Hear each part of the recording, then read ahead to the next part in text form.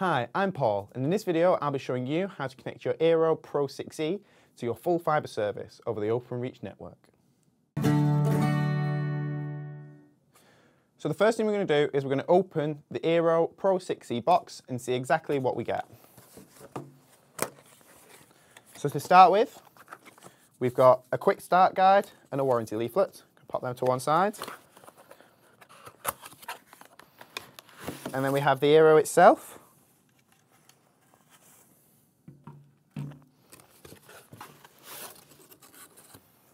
We have the power cord or power lead, which is a USB-C end.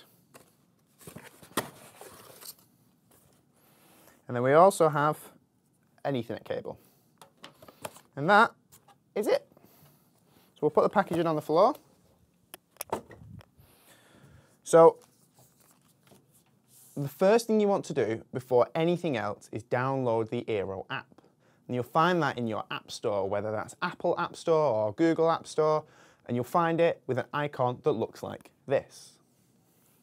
So now you've opened up the Eero app, you'll be greeted with the following screen. And what you want to do is select Start Setup.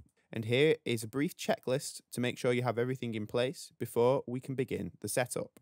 So the Eero gateway or gateway Eero, that is your router, your power lead, Ethernet lead, and then your fiber ONT.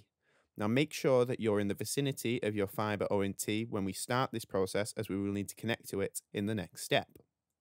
So these next three screens talk about how to unplug any existing hardware and plug your Eero into the power, which we did at the start of this video.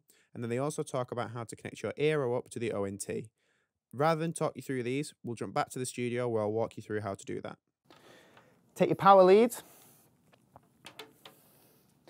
and then take the USB-C side and plug this into the port on the back of the Eero, like so, and you should hear a little click. And then you want to plug this into the mains. Now, what you're going to want to do is look for a little white pulsing light on top of the router. You'll find this central just below the Eero logo.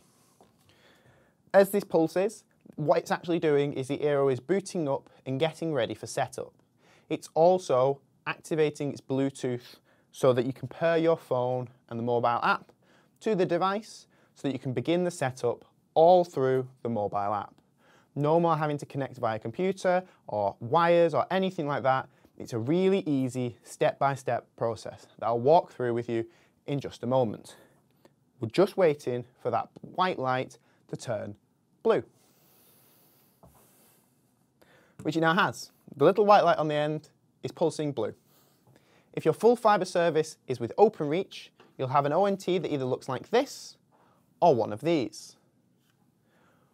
What we now need to do, because we've unplugged our old router, or maybe you never had a router plugged into it in the first place, is connect up our Eero device to this ONT. It's a very simple thing to do. What you want to do is take the Ethernet lead, or the RJ45, that came with the Eero, and we want to plug it into the yellow port on the bottom of the ONT. You then want to turn the Eero around, and on the back you have two ports. You want to plug the ONT into the port that says 2.5. It's very important that's the port that you plug it into. Once you've done this, you can go back to the app and continue following the steps. Now that you've done that, you'll want to return to the mobile app and click on the blue arrow button. And what's now happening is the Eero is looking for a gateway, so it's trying to connect to the internet via your ONT. Once your app detects the model of router you're using, you'll be presented with a screen that looks like this. Now that everything's connected up, your Eero will try and set itself up. Now, if your Eero has been unable to set itself up, you may be presented with this screen. And this is nothing to worry about. Just double check that everything is connected up as we've outlined in this video, so your Ethernet lead is connected correctly between the Eero device and your ONT, and that your ONT and Eero are both powered on. If that is the case, you simply want to click Internet Settings, which will bring you to this screen. Now what you want to do is click on the WAN type, and then you want to go down to PPPoE. You'll now want to select PPPoE, and this box will open for you to enter in your Zen broadband username and password. Your username is your Zen some numbers at Zen. So for example, Zen12345 at Zen, all lowercase. And then your password will be the password that you were given when you first started your service. If you're unsure of where to find these details, you can find them from logging into your customer portal. Once you've entered these details, simply click Save, which will bring you back to here, and then click Try Wired Connection. And your Eero will now try and connect to the internet using the settings that you provided. If you are presented with the following screen, this means that your Eero has now been identified and has set up correctly.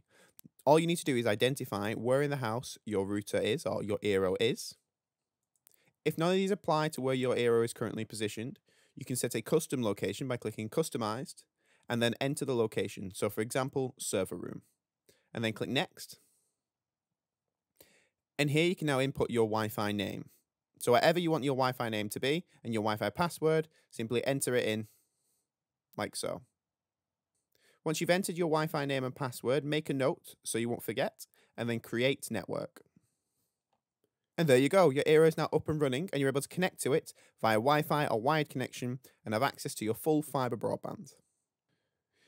You'll then be brought to the following screen where you can set up additional Eeros if you so choose to for a mesh style setup. However, we're not going to do that in this video, so all you need to do is select Finish Setup.